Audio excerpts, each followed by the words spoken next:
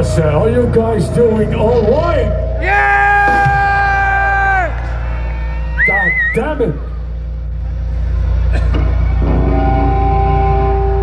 Argentina! Yeah!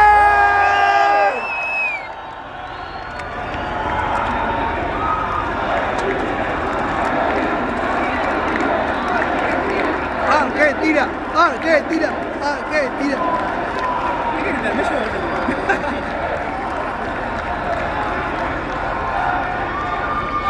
Let's see if you dig this next one.